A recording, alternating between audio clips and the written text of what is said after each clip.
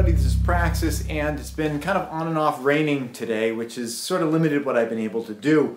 Uh, first off, I want to say what we were able to do yesterday. If you look above you, you can see two of the roofing panels for the greenhouse are in.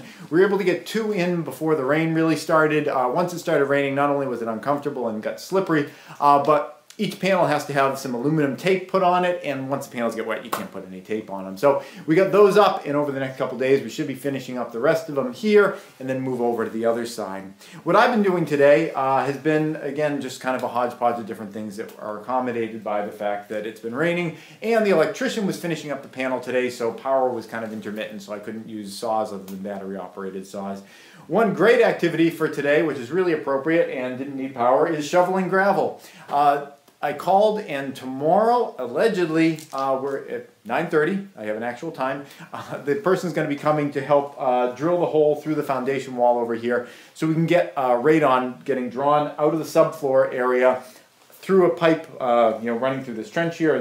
This is going to be dug out here as well. Uh, over that corner, up, and then shot out uh, the top of the greenhouse, out the back wall over there. I chose that point as the exit point because there's no windows in that area, so when we're dumping the radon out, it's not going to be just getting sucked back in some you know other window. I know there is a, a window right there, uh, but that window there is only going to be open in the uh, summertime when this whole area is all is all open windows anyway.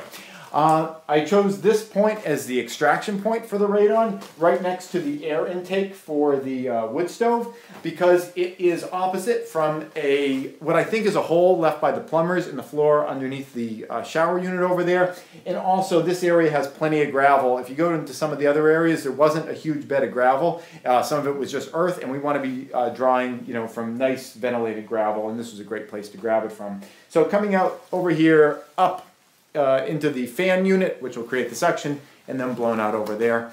Uh, I mentioned that the electrician was here finishing up their stuff. Uh, that went pretty well, although we do have an issue with the third floor. Uh, the breaker was tripping. When we tried to turn on the breaker, it was automatic, you know, immediately tripping off. So some kind of a problem. It could be any number of, one, uh, of things, and we're going to go for the simpler ones first. Hopefully it's, uh, you know, one of those, and we can you know, figure it out. But I mean, that's just kind of a part of the process. Uh, you know, you do things and sometimes there's issues with them and you have to troubleshoot the stuff out.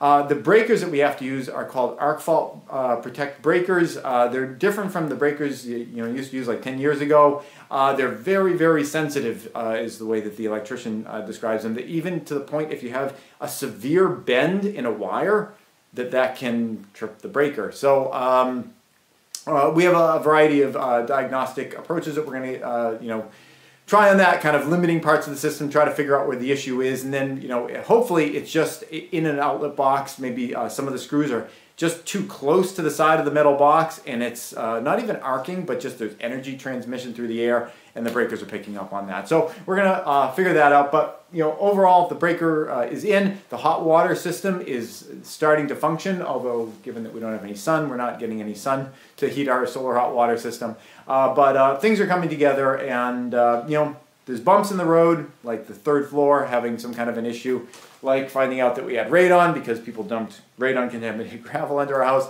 But you know, you just take each one as they come and do the best you can to get uh, get past them. So that's what we're doing today. Not a super high energy day, but you know, every step is a step closer. That's it. Thanks for watching.